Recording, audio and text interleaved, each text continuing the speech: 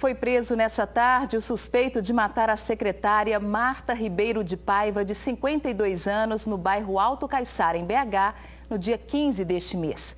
Luiz Antônio Julião, de 31 anos, foi detido na região central da capital, próximo ao viaduto da rodoviária. No dia do crime, ele foi flagrado por câmeras de segurança entrando e saindo do prédio onde a vítima morava. O corpo da secretária foi encontrado com um corte na cabeça em cima da cama. O suspeito é ex-presidiário e namorava a irmã de Marta. A família não aprovava o relacionamento.